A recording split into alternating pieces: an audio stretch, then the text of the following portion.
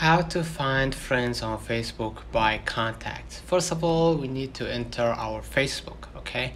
Next step, I'm gonna go ahead to my menu and I'm gonna go ahead to my settings right here next to the search button and I'm gonna toggle again the search button in the top right and I'm gonna search for something called upload contacts okay okay? And here you will see in the search results the first option okay? Which is upload contact. And it will direct me to which account that I want to upload the contacts for. So let's say for example I want to upload on my Facebook account okay?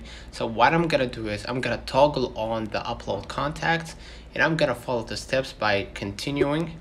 And here it says Facebook would like to access your contact. I'm gonna allow it okay and I'm gonna wait for a few moments and here it says no matches found and I'm gonna wait until I see my contacts for my phone number that are available on Facebook so what I'm gonna do is I'm gonna just go ahead and add friends to all of them.